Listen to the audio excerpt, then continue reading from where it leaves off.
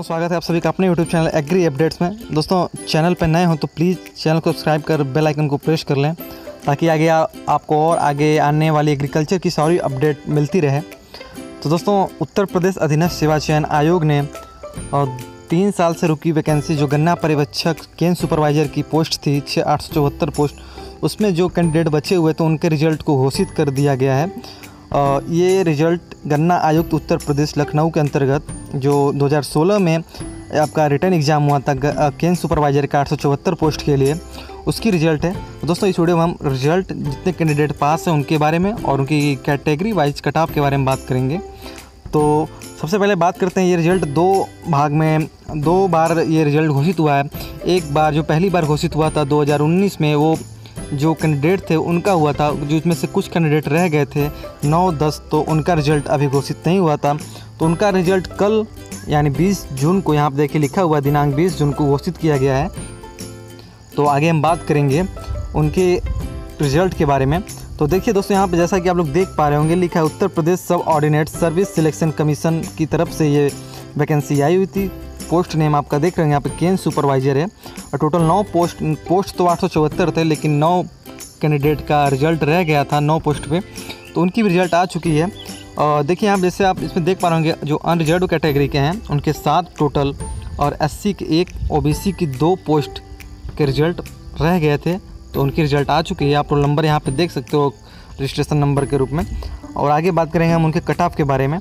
तो जो वेटेज के रूप में जो कट ऑफ़ मिला है उनका तो यहाँ पे देखिए श्रेणी लिखा हुआ है, अनारक्षित मीन्स अनरिजर्व कैटेगरी के जो हैं, उनकी कट ऑफ़ है 216 प्लस जो 20 है 20 आपका इंटरव्यू का कट ऑफ़ है 216 आपका रिटर्न एग्ज़ाम का कट ऑफ़ है, ठीक है? तो ये जो 216 है 60 है, ये रिटर्न एग्ज़ाम का कट ऑफ़ है प्लस 20 इंटरव्यू कट ऑफ़ है टोटल 236 236 कट ऑफ़ है। ठीक इसी तरह अनुसूचित जाति का एक सौ अठहत्तर प्लस 20 20 आपका इंटरव्यू का, एक सौ अठहत्तर आपका रिटर्न एग्ज़ाम का cut off total 198 cut off है। ठीक इसी प्रकार सेम कट ऑफ़ 198 ही अनुसूचित जनजाति का भी है। अन्य पिछड़ा वर्ग की बात करें तो ओबीसी का जो कट ऑफ़ है, वो 228 है, और साक्षात्कार का कट ऑफ़ 20 है, और 208 आपका इंटरव्यू का कट ऑफ़ है। ठीक है दोस्तों, ये कट ऑफ़ कैटेगरी वाइज थी। अब अब बात करते हैं जो अदर वेटेज मिलता है जिसमें कि जो फीमेल आती हैं, उनका भी सेम वही रहेगा सभी कैटेगरी का। प्लस जो स्वतंत्रता संग्राम सेनानी के आश्रित होते हैं, और जो उनकी फैमिली से बिलोंग करते हैं, जो कुछ होते हैं, उनकी कट ऑफ़ की बात करें तो 150 रिटेन का है प्लस 25 और आपका इंटरव्यू का है टोटल 175 आपका कट ऑफ़ बनेगा स्वतंत्रता संग्राम सेनानी का।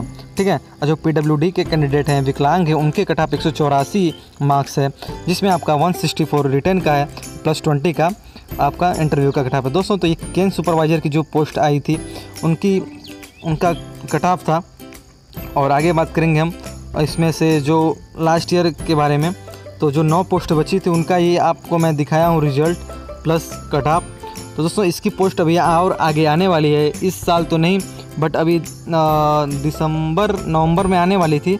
तो अभी बोला गया है, राज्य सचिव की तरफ़ से तो इस बार तो नहीं, लेकिन 2021 में इसकी स्टार्टिंग में 2021 के स्टार्टिंग में इसकी नई पोस्ट जल्दी ही आ जाएगी। तो दोस्तों, आप लोग जो प्रिपरेशन कर रहे हैं उनके लिए प्रिपरेशन वालों के लिए तो प्रिपरेशन करते रहिए। आपकी वैकेंसी आएगी जल्दी 2021 में।